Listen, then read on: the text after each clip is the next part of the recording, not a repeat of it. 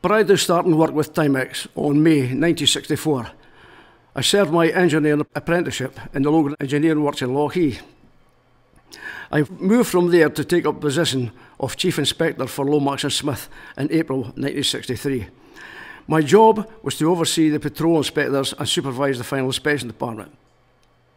Approximately one year after, I heard that the inspectors in Timex were earning more wages than me.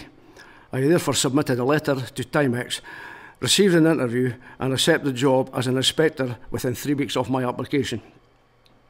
I worked in the inspection department in the auto shop for approximately one year, then moved to the secondary operations department as a patrol inspector. As Timex was expanding, one year later, I was approached by the chief inspector and asked if I would be interested in taking up a staff position in the quality control office as a quality control engineer.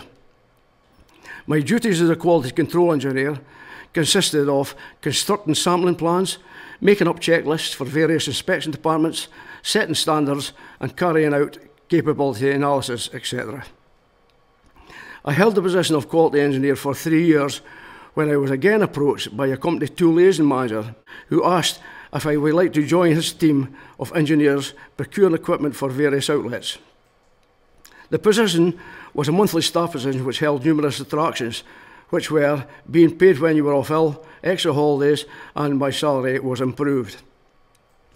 The position consisted of receiving various telex communications from the United States, France, Germany, etc., requesting us to supply best possible price and delivery dates for tools and equipment manufactured in Dundee.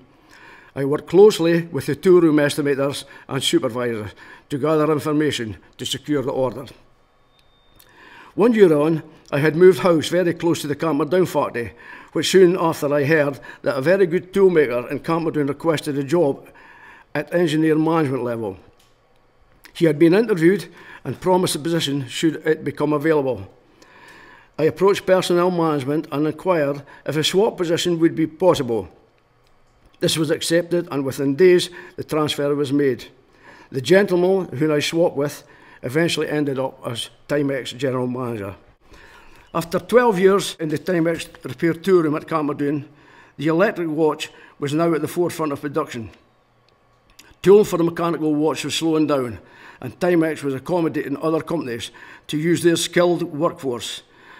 About a quarter of Camperdown was now being used by International Business Machines, IBM. I applied for a job with IBM as a toolmaker and was accepted. About one year after Timex proposed voluntary redundancies to a number of employees. I looked at the deal on offer and decided to accept. I left Timex in 1981.